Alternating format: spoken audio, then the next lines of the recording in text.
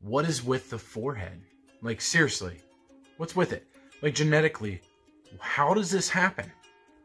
Where it throughout like human evolution did things go so sideways that my head became elongated by what appears to be several inches.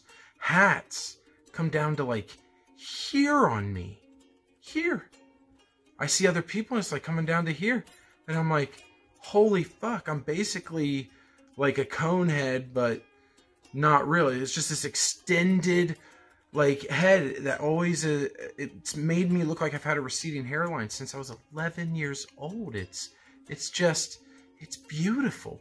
It's just a glorious, beautiful forehead. I mean, it really should be everyone's envy. This one this one goes out to the one I love. This one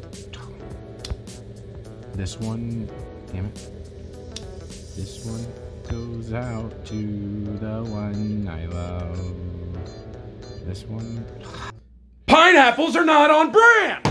I've said it once, I've said it a thousand fucking times. Bring pineapples up again, and I'm gonna lose my mind. Pineapples will never be a part of anything I do. I hate them. I hate hearing about them. I hate any ideas with them. And leave them off my fucking pizza.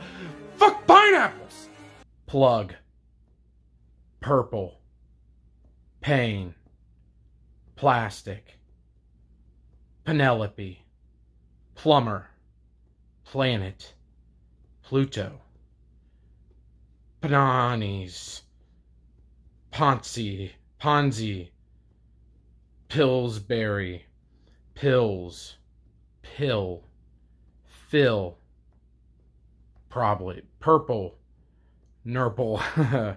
that that will do. That will do. Well, I find it to be quite hilarious. Well, I find it to be quite hilarious.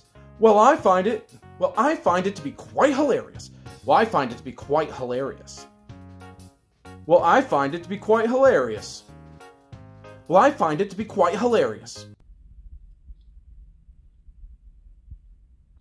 I'm just full of great advice. I wonder if it's weird that sometimes when I'm trying really hard to get a, a tough fart out, you know the ones where you really have to squat and just like power through, you're like putting all your strength into it and then you're like, oh, I just can't do it.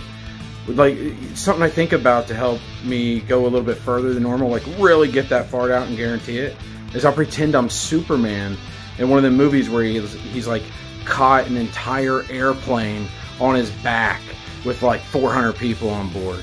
And with that pressure and that weight on top of him, next thing you know, I'm just shitting my pants. It's just running down both legs. It's everywhere. I finally feel relieved and I finally am able to move on with my life. And uh, so, anyways, you can steal that, use that, and if it helps you, well, pass it on to the next guy. Look, I understand I had a bit of an outburst about the pineapples. It's just a sensitive subject.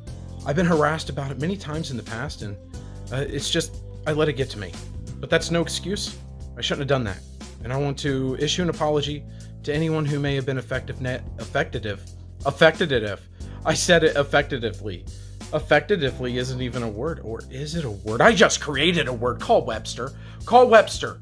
Yep, I want to talk to him about his dictionary. He has a new word today, Janice. A new word. So this here is going to serve as your outro because it's easier for me to do this and throw it into the video than to like go find the computer and like put in the the stuff on the website to make it like an outro with the little videos and the whatever. I just don't feel like doing the work to do that.